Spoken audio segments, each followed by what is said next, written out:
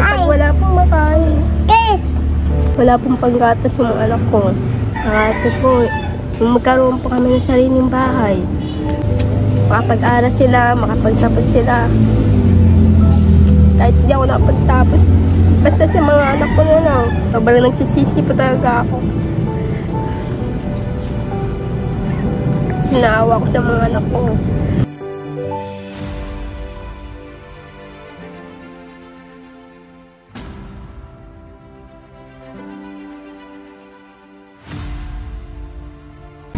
Yung mga kababayan, ah, pupuntahan po natin yung isang ah, ina dito na maaga pong nag-asawa.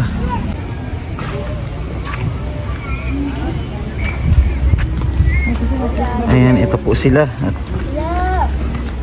kamustahin po natin sila. Hello boy! Ano boy? Hmm? Ano? Dede ka na? Ha?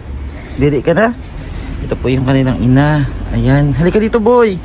Kamusta, be? Okay lang lang po.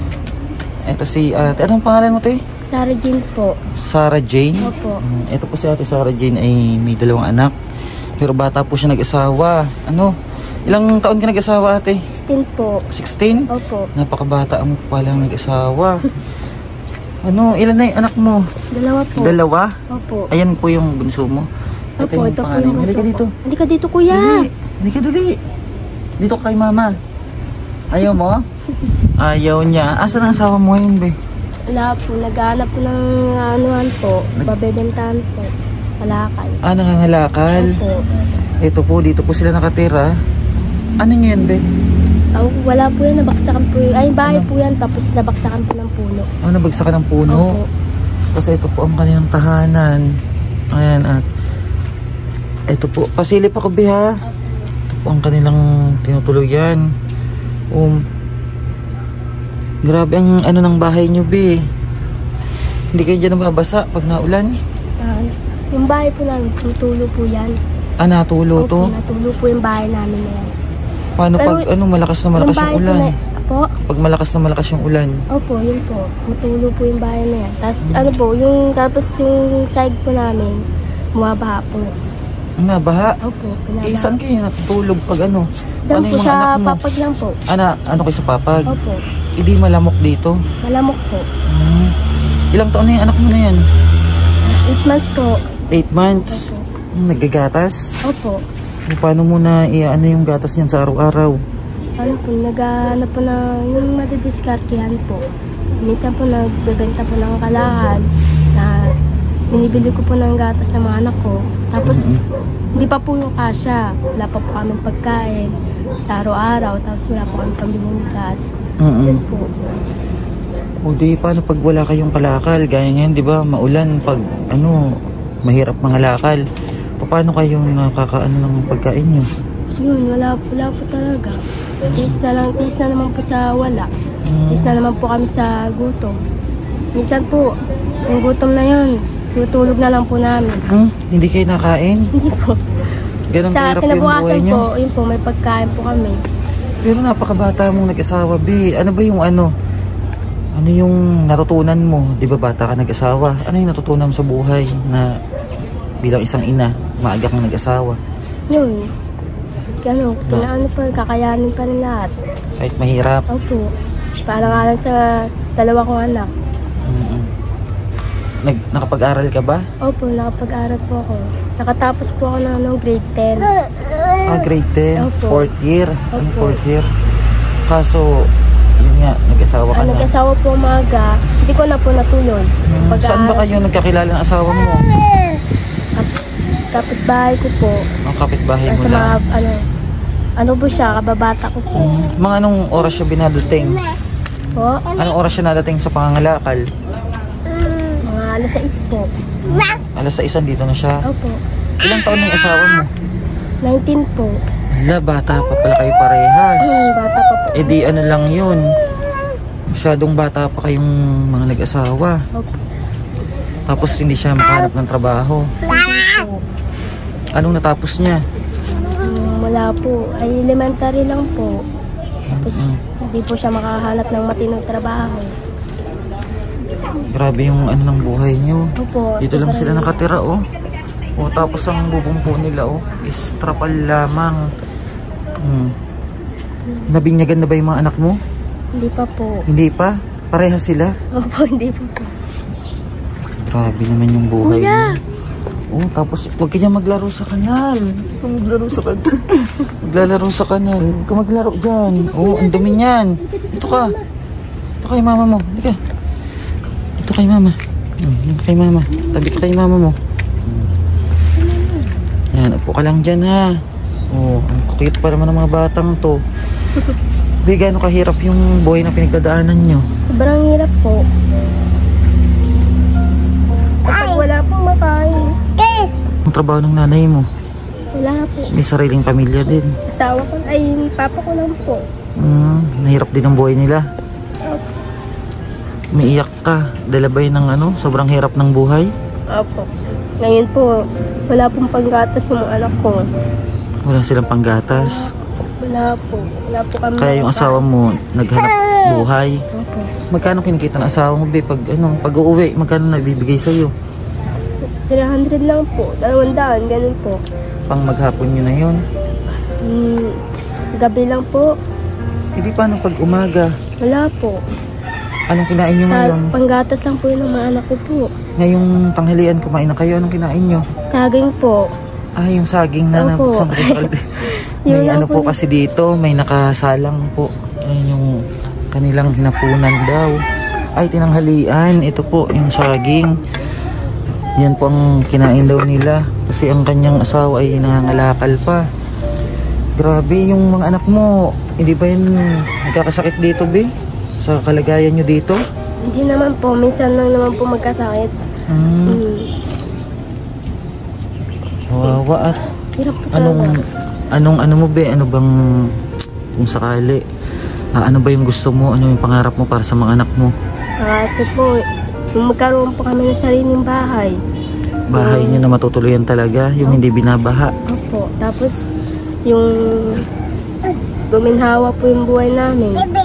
Mm-mm. Para po sa mga anak namin. Tapos po, makapag-aral sila, makapagtapos sila. Kahit di ako nakapagtapos, basta sa mga anak ko na lang. Yung mga anak mo na lang makapagtapos. Grabe. Opo. Sana hindi nila maranasan yung buhay na dinadanas nyo ngayon. Kasi napakahirap sa panahon ngayon, di ba? Opo. Sobrang hirap ng buhay. Ngayon, nung nag-asawa ka ng maaga, may pinagsisihan ka ba?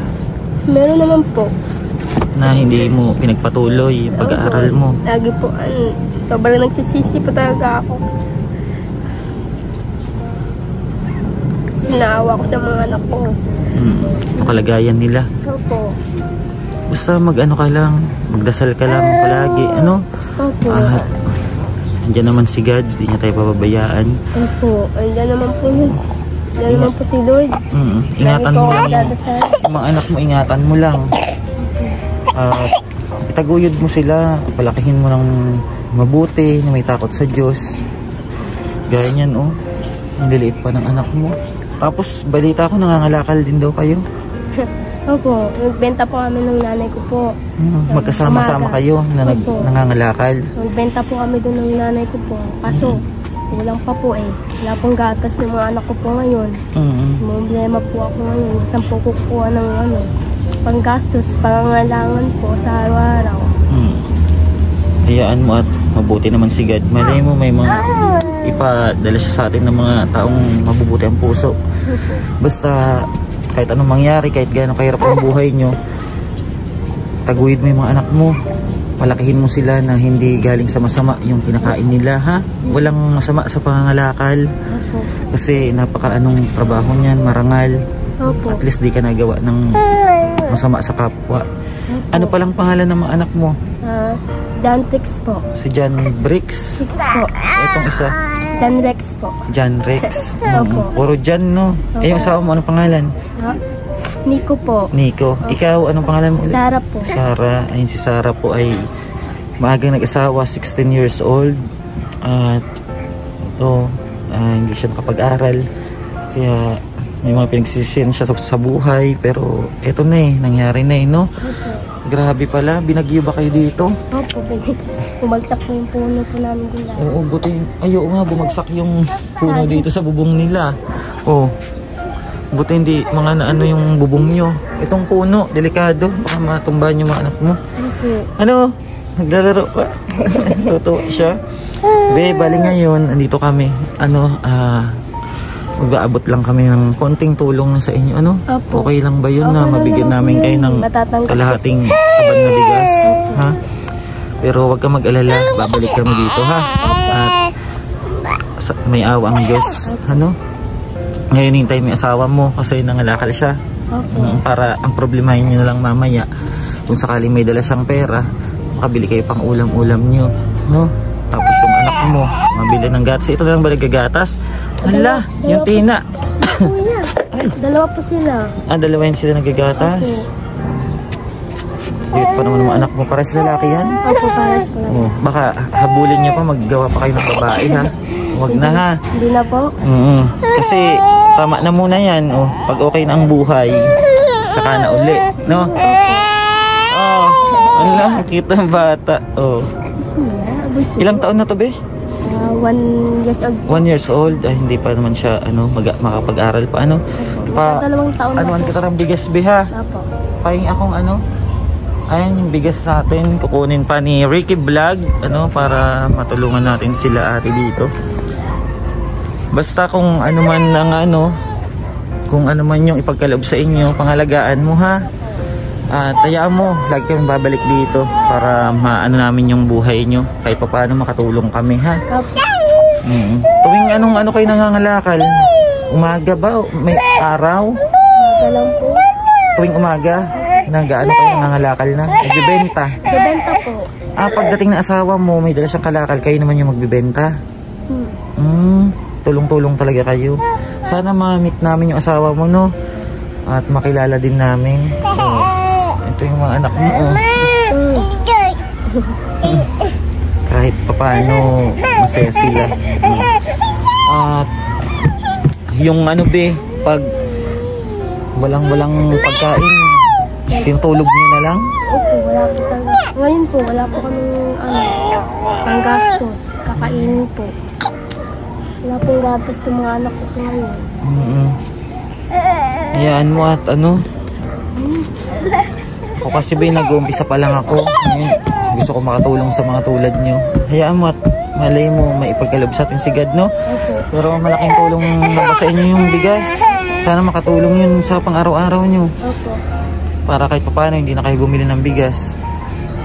Bata mo pa, 16. 16 ka nag-asawa. Hmm, tapos may mga anak ka na, edi 18 ka na ngayon. Kasi ano pa lang yung mga anak mo eh. Ilang taon to? One. One. Tapos yan, Eight 8 months. Hmm. Ay. Tulog ang sungos. Kahit paano, sana maging maayos ang buhay nitong mag-iina na to. Ayun at may ano kami sa yung bigas, no? Hmm. Sabihin mo sa, ano mo, sa darling mo, ah, may pumunta ditong vlogger, si Bench TV ka mo. Opo. Mm, At kahit paano gawin namin yung ano namin para makatulong sa inyo ha. Opo. Mm, Yung bigas na yun galing sa mga ano, followers natin, subscribers. Opo. Mm. Ayan mamaya, ayan oh. Ayan may bigas. Ayan, bigay mo Dugong Kilano. Dugong vlog ba to? Ah, si Dugong vlog. Oh. May bigas kayo biha. Oh, Dugong vlog. Oh. Ayan, may bigas kayo biha at sana makatulong yan ha. Maraming Pasalamatan. salamat po. Pasalamatan mo sila yung mga taga-subaybay natin. Sana po matulungan niyo po kami. Maraming maraming salamat po talaga. Hayaan mo at ipag-pray mo ha. Opo. Pag-pray mo kay God na may mga tao na makapansin itong ah, video natin para kahit paano maibsan yung kahirapan na nararanasan nyo ha. Opo. Sa ngayon, yun lang muna yung may papaabot namin. Opo. Pero asahan mo na babalik kami uli ha. Oh, ayan po sila. O, tuwa sila. Bye-bye, Be. Dito na kami, Be, ha. Oo, mag-ingat kayo. Ingatan mo yung mga anak mo. Hmm. Yung tuwang-tuwa siya, oh. May bigas na daw kayo. Ayan sila, oh. At ito po yung kwento ng buhay po ng isang ah, ina na maagang nag-asawa at eto yung kahirapan na kanilang pagdadaanan, nangangalakal lang sila para mabuhay. God bless po and thank you so much mga kababayan. Please share po ng video natin at isang mapagpalang araw po sa ating lahat.